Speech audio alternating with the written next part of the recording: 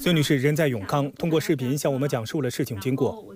去年三月，孙女士通过二手车商购买了一辆奔驰 A 两百 L 的二手车，价格是二十万元。老板跟我讲的是，右前方它右边的叶子板是被，嗯，被花盆砸过的，然后机盖我机盖都是有有维修过的。因为我比较喜欢这款车嘛，毕竟如果是花盆砸的话，我觉得问题就不大。车子开了一年，最近孙女士打算卖掉，找人验车，发现问题很多。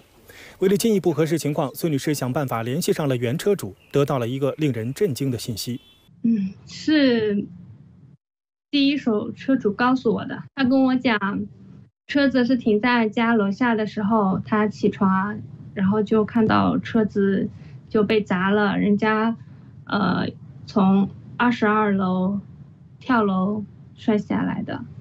车顶，然后整个车窗玻璃、中控啊，呃，什么仪表盘都是碎掉了。当时，孙女士说，当时原车主告诉她，砸中车子的并非花盆，而是一个跳楼轻生的人。事件发生后，车子没有报保险，直接卖给了修理厂，因此在保险记录上查不到事故的任何信息。害怕，特别害怕。当刚知道的那天晚上，一夜没睡，不敢睡觉，然后现在。看到这辆车，心里就很忐忑，觉得是车商在骗我。他如果告知我这些情况的话，是肯定不会买这辆车的。现在孙女士的要求是退车。针对她的讲述，我们尝试向原车主核实，对方表示不想再提及此事。随后，记者联系上了卖车给孙女士的二手车商。当时这个车是所有记保险记录上面全部没有，车子的事故是我知道，车子的事故我也跟那个孙女士跟她也跟她说说过。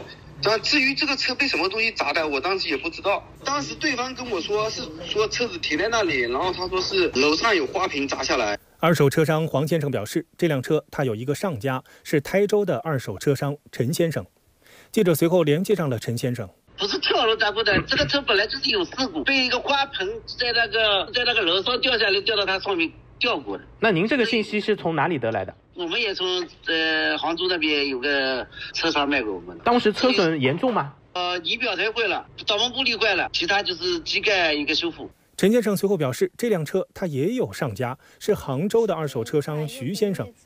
记者随后联系上了徐先生，就这个车在您这儿到底是进了第几手了？直接第一手，第一手是吧？您到我这里。那么当时车主有没有把实际的情况跟你讲？呃，我都知道的，也是一个人掉下来砸在车上的嘛。那么您当时转给这个姓陈的时候？